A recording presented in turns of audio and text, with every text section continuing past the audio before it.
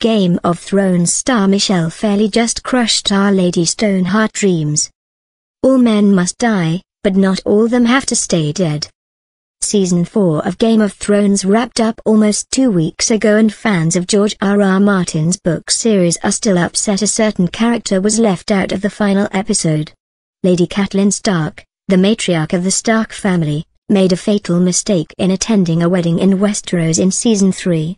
We all know how those happy affairs tend to end when they take place in the Seven Kingdoms, and after she watched her son fall at the hands of Lord Bolton, Catelyn Stark had her own throat slit by one of his men. The episode was the most shocking of the show and fans still haven't gotten over the loss of two of our favorite Starks, so naturally, when talk of Fairley reprising her role during the finale of season 4 took hold, we got more than little excited. For anyone who hasn't read the books, after Catelyn Stark is killed she's resurrected and becomes the zombified harbinger of vengeance known as Lady Stoneheart. Unfortunately for Fairley, and for the fans, it looks like Catelyn Stark is staying where she is, six feet under.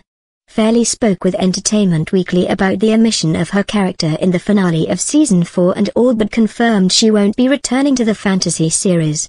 Yeah, the character's dead. She's dead, Fairley said.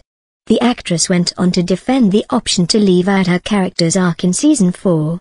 You respect the writer's decision, Fairley said. They can't stick to the books 100%.